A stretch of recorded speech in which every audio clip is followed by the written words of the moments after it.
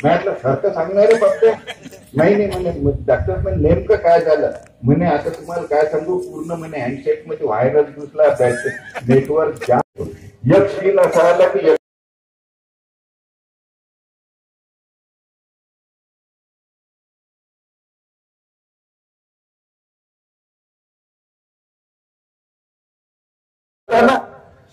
अरे काय सांगावं म्हणे राहिले तुम्हाला? त्याच्या घरी टीव्हीच नाही ना म्हणे भावा.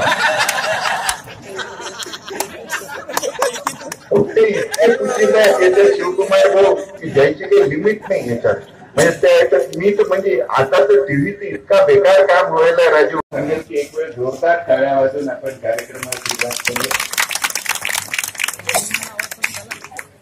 आवाज मी वाढवला नेहमी दर कार्यक्रमात सांगत असतो की टाळ्या ह्या वाजवल्या पाहिजे. याचं कारण असं की दुल्हन बिना के रस्ता बिना नाली के जीजा बिना साली के मंदिर बिना काली के छलनी बिना जाली के चौक बिना मवाली के, गाना बिना, कव्वाली के और त्योहार बिना दिवाली के जिस तरीके से अधूरा होता है, उसी प्रकार एक सच्चा कलाकार बिना ताली के अधूरा होता है। और जो जो लोग मेरी रचनाएँ सुनने के बाद में तालियाँ नहीं बजाएँगे, उनको मैं श्राप देता हूँ। अभी आपने तालियाँ नहीं बजाई तो अगले जन्म में घर घर जाके तालियाँ बजाने की नव बता सकते त्याच्यामुळे आपण टाळ्या सगळ्यांनी कोणी कंजूसी करू नये टाळ्यांमध्ये एक गोष्ट आहे की सगळी मंडळी इथे काहीच झालेलं नाही सगळी मंडळी शांत आहे. कधी कधी असं होतं त्या ह्याच्यात एखाद्या वेळी हे आता भांडण गिंडण सुरू होते. मी एकदा असाच एका रेल्वेनं चाललो होतो. रेल्वेनं चाललो होतो त्या डब्यात गर्दी म्हणजे बाईला लेकरू भारी. आणि इतकी गर्दी इतकी गर्दी की ज्याची काही लिमिटच नाही. मग त्या गर्दीत आता मला काही जागा भेटे ना मी काय केलं माहीत आहे का? म्हटलं सरप निघाला सरप निघाला सरप निघाला. जसं म्हटलं पूर्ण बोगीच्या बोगी पुरी खाली झाली. कोणीच त्या भोगीत नाही. मग मी एकटाच मस्तपैकी मस्त तन्नावून गेली आणि झालं लागली झोप. मिळत आता आपला बापाचंच राज्य आहे याच्यात दुसरा कोणी येतच नाही. तसे जसा मी निघलो आणि नंतर जाग आली आणि मी विचारलं एका जणाला तो झाडून राहिला होता तो डब्बा. म्हटलं साडेबा कोणतं गाव आलं? तर तो म्हणे की कोणतं म्हणजे म्हटलं गाव कोणतं आलं? तो म्हणे गाव तेच आहे. म्हटलं कोणतं? तर म्हणे अकोला. मी म्हटलं मला तर मुंबईला जायचं होतं. गाडी अकोल्यातूनच तर बसले. तो नाही या बोगीत सरप निघाला होता म्हणून हे बोगी काढून घेऊन म्हणे अशा कधी कधी काही काही गोष्टी होतात. आता हे तिथे जसं भांडण झालं की नाही आमच्या गावाला असं झालं त्या याच्यात की इथे बरीच पुरुष मंडळी जमेल आहे बाकीचे सगळे बरीच साजी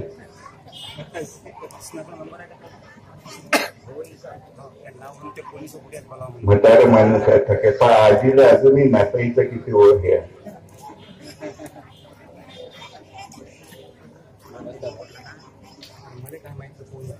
आजी?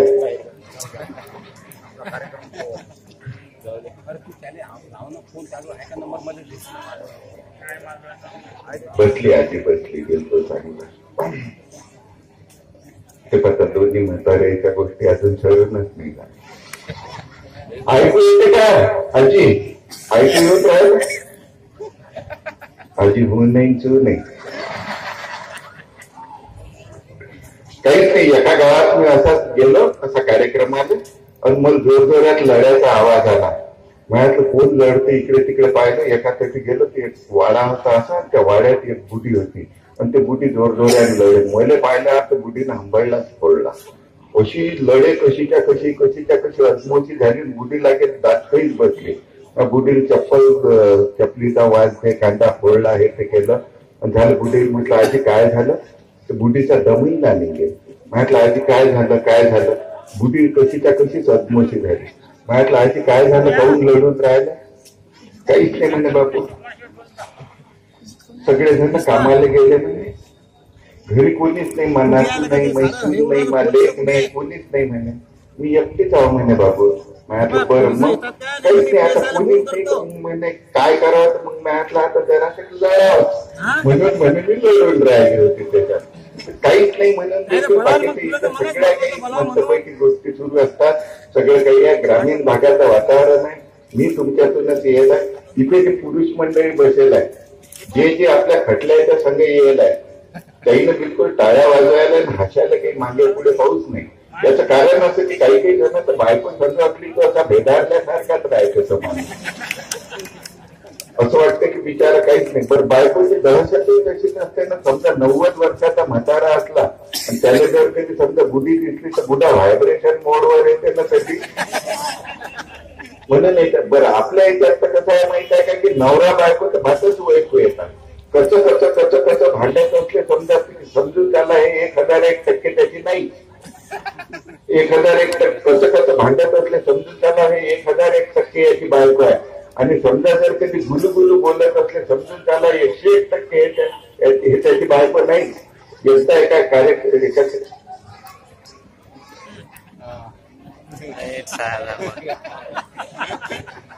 बसवा आजी. भांडून राहिली की पूर्ण राहिली मावशी मुकट्यान बसारे पोरं कोणी इतके ओल्ड लेकर आहे असं वाटतं यायचं काकीत घ्या मुके घ्यावे यांचे पातुरल्याच्या सारखे पोरं तर पाहिलेच नाही मी कोणाची इतके मस्त शांत बसायला असते की काहीच नाही। आता तुम्हाला गमत सांगतो मी नाही तर कुठे कुठे इतके कुचित चालते असतात की आम्हाला कार्यक्रम करणं मुश्किल होते। पण त्याच्यात समजा जर ते झालं मी बिलकुल हे झालं. की इतकी आपल्याला पंचायत होते की बा आता कसं करावं काय करा पण तुमच्या गावाचे लेकरं खूपच शाळेने आहेत त्या याच्यात. एकदा तर मी असाच आपला कार्यक्रम आटपलो आणि घरी गेलो. रात्री झाले ते शोले सिनेमा लागला होता. माई बायकोची गुंग होऊन तो शोले सिनेमा बाहेर पाहून राहिली होती. मी आलो कुकडे गेलो कुकडे बायको हुंड्याची तयार. नाही असं काय? म्हणून मी तो शोले पाहायला लागलो. पाहता पाहता तो इतका डेंजर सिनेमा माय की माय अंगात गब्बर गब्बर मी काय केलं मग म्हटलं बेटा आता हे गब्बर सिंग व्हायचा काही काहीच नाही आहे पण पाहिलं तर आजूबाजूला आमच्या पुऱ्या विकेटा पडेल होत्या. पुरा भारताना झोपेल होता. म्हटलं जमलेले का आता? मी गब्बर सिंगच्या स्टाईलनं असा कमरीचा पट्टा काढला. बायकोच्या समोरून गब्बर सिंगच्या स्टाईलनं असा गेलो. आणि गब्बर सिंगच्या स्टाईलनं तिच्याकडे पाहून मी म्हटलं बसंती! त्यांनी कुंड लगायले ठुमका तर ते आमचं किटकून त्यानं चादरीतून मुंडकं बाहेर काढलं. आणि म्हणे बसंती कुत्तों के सामने मत नाचना.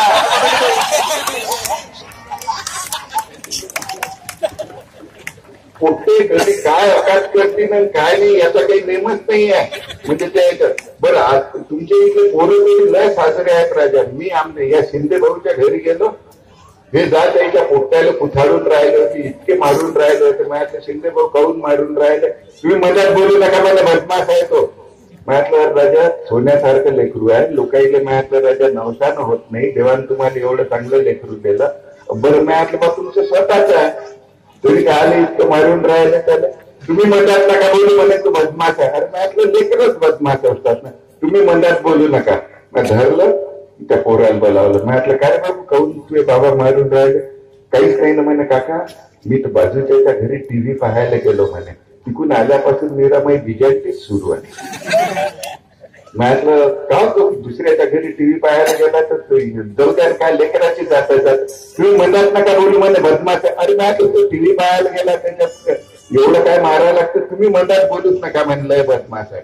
पुन्हा अजून मी त्याला बोलावलं म्हटलं बाबा बेटा तुझ्या बाबाला आवडत नाही तर का आलं रे कोणाच्या घरी टीव्ही पाहायला?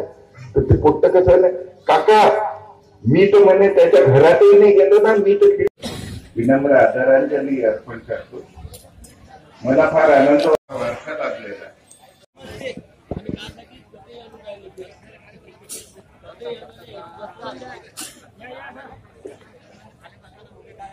Thank you.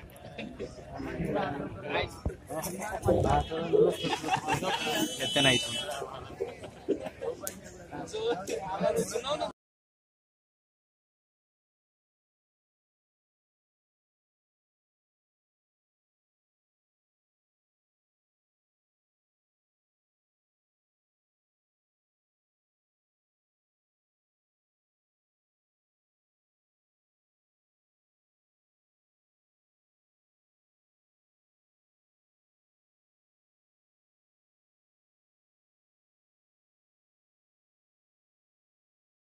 ना अरे काय सांगावं म्हणजे राजे तुम्हाला त्याच्या घरी टीव्हीच नाही ना म्हणजे